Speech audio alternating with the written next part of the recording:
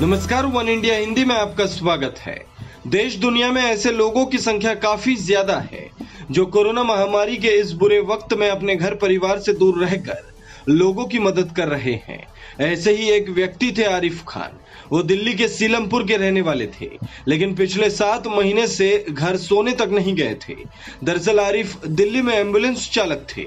वो इस साल मार्च से ही पार्किंग एरिया में रह रहे थे।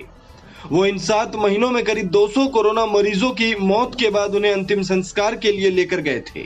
वो उनकी मदद के लिए 24 घंटे उपलब्ध रहते थे। लेकिन अब शनिवार को सुबह उनकी मौत खुद कोरोना वायरस महामारी के कारण दिल्ली के हिंदू राव अस्पताल में हो गई। दरअसल एंबुलेंस ड्राइवर आरिफ ने अपनी जान जोखिम में डालकर 200 से ज़्यादा मरीजों को समय पर अस्पताल पहुँचाया और 200 से अधिक शवों को अंतिम संस्कार के लिए शमशान पहुँचाया। कोरोना महामारी ने एक ज़िंदा दिल वॉरियर की जान ले ली। कोरोना वायरस से संक्रमित आरिफ खान का शनिवार की सुबह निधन हो गया। वहीं आरिफ के निधन पर उपराष्ट्रपति एम वेंकैया नायडू ने शोक व्यक्त किया है। बताया जाता है कि आरिफ खान पिछले 25 साल से शहीद भगत सिंह सेवा दल के साथ जुड़े थे।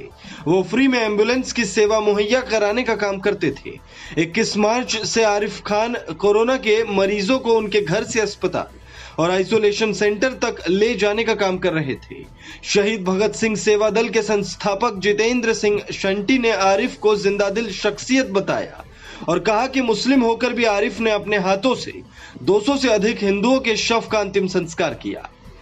आपको बता दें, शंटी ने बताया कि जब आरिफ की मौत हुई, उनके अंतिम संस्कार के लिए परिवार के लोग पास नहीं थे। उनके परिवार ने आरिफ का शव काफ़ी दूर से कुछ मिनट के लिए ही देखा। उनका अंतिम संस्कार खुद शहीद भगत सिंह सेवा दल के अध्यक्ष जितेंद्र सिंह शंटी ने अपने हाथों से किया।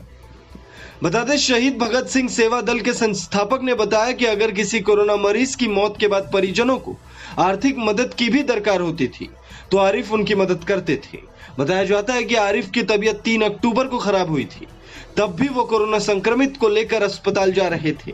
गौरतलब है कि आरिफ ने तबीयत बिगड़ने पर कोरोना टेस्ट कराया। रिपोर्ट पॉजिटिव आई। परिजनों के मुताबिक जिस दिन उन्हें अस्पताल में भर्ती कराया गया, उसी दिन उनका निधन हो गया। वो परिवार में कमाने वाले इकलौते सदस्य थे। आरिफ के दोस्त जितेंद्र कुमार ने कहा कि अब परिवार पर दुखों का पहाड़ टूट गया है। इस खबर में फ़िलहाल इतना ही। तमाम अपडेट्स के लिए बने रहिए वन इंडिया हिंदी के साथ।